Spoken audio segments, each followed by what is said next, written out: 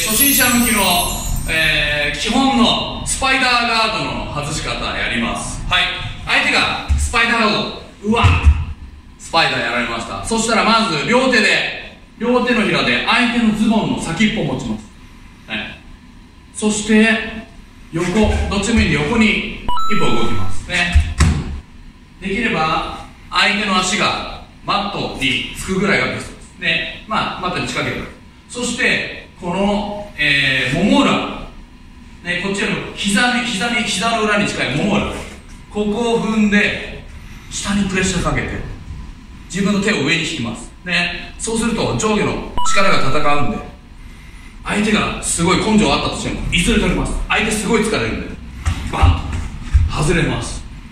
そして背中側に回ってこっちの手をね左手をこっちに振る感じでこういう感じで。